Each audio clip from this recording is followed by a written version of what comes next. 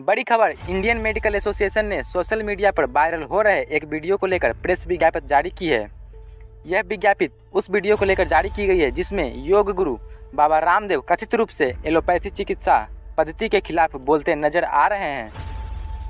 आपको बता दूँ कि आईएमए ने मांग उठाई है कि केंद्रीय स्वास्थ्य मंत्री या तो वीडियो में लगाए गए आरोप को स्वीकार करें और देश की आधुनिक चिकित्सा सुविधाओं को भंग करें या फिर बाबा रामदेव पर मुकदमा चलाकर महामारी रोग अधिनियम के तहत मामला दर्ज करें।